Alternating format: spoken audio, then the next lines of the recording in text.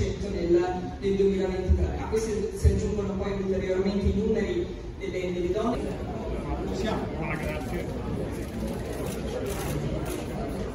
Iniziativa molto bella perché innanzitutto si valorizzano i valori dello sport e si dà la possibilità a chi ha delle problematiche di partecipare a iniziative sportive, ma dall'altro lato si cerca di utilizzare anche questa iniziativa per sensibilizzare sui valori della prevenzione la prevenzione al tumore al seno che per le donne è stata in passato una malattia devastante che grazie alla prevenzione è diventata invece una malattia assolutamente curabile.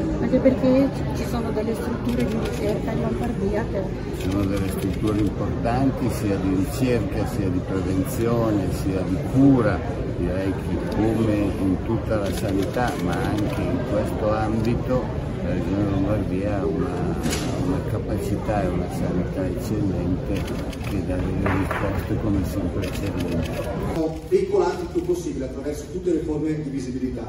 Quindi due cause importanti che eh, si uniscono. Due cause. Sempre uh, innanzitutto al, al, volontariato, alle persone che si impegnano tanto per gli altri, ma credo che sia da dire grazie a tutti gli organizzatori e a ribadire come questa della combattere insieme sia la strada più giusta. Quindi buon divertimento e sosteniamo valori che sono fondamentali per la nostra società. Grazie.